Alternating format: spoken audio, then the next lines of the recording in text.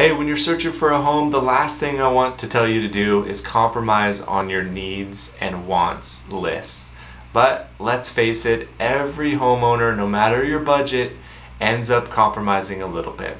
And the thing I want to talk to you about today, especially if you're a home buyer that's out there and you know maybe you're in a competitive price point or maybe you're not quite the squeaky clean shiny you know ideal buyer that uh, that a home seller is looking for, right?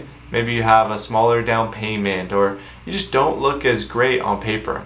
Well, one of the areas that you may want to compromise in isn't your needs on size eh, or you know uh, location, things that are fundamentally very important to you and your home, but you might want to compromise on aesthetics.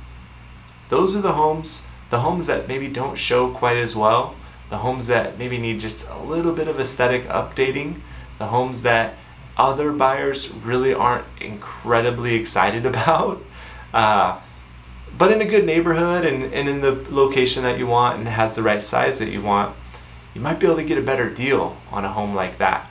We just worked with a client recently that, you know, they bought a home in a premier neighborhood. Perfect size home for them. But had some of the things that they just didn't love, like popcorn ceilings. You know, the paint was terrible uh, in their for their taste. There was a little bit of wallpaper. There was, you know, there were some things that they needed to do or they wanted to do in order to really make it their own. But because those things existed, they didn't have a ton of competition. They didn't have a bunch of homebuyers that were also putting in offers and bidding up the price. Those guys were actually able to not only buy the home, for just a touch, they ended up having to pay a little bit above asking price.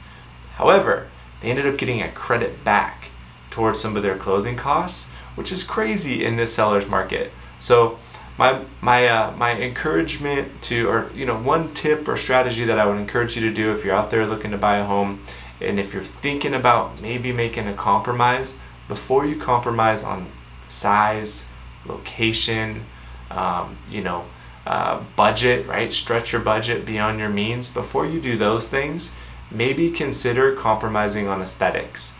Figure out a financial plan. There's three things that you can do uh, to you know make it work for you. One, purchase below your budget. It's a pretty common sense thing. If you watch any level uh, or any different shows on HGTV, you know that purchasing below your budget uh, it uh, can help in terms of adding money into renovations. How do you do that? Well, there's a home equity line of credit that you can do. And in many cases, you can finance part of the renovations in your purchase, right? It's a little bit tough to pull off, but if you don't have a whole lot of competition right now, home sellers might be willing to do that, uh, like a, a, renovation loan. Um, and then three, you know, just good old fashioned like cash. Uh, if you maybe the property that you're interested in, let's say, is six hundred thousand, and you know you only really have uh, you have your down payment money you have your money towards closing costs. But rather than pay all of your money towards closing costs you ask the seller to credit you back some money. You get to hold on to that keep your cash and use that cash towards fixing up the property instead.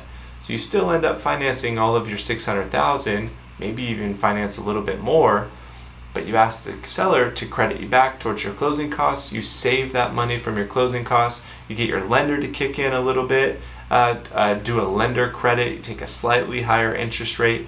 You save cash, and then you're able to take that cash and do the renovations that you want. So that's one of the main things that I'm suggesting to clients that are maybe just feeling a little bit fatigued, a little bit discouraged that they're not able to get the, the home that they want. Start looking for just a little bit uglier home you can make your own if you get creative with your offer strategy. So, hope that's helpful. Don't compromise on your size that you need. Don't compromise on your must. Don't compromise on your budget or in your location, especially. First, compromise on aesthetics.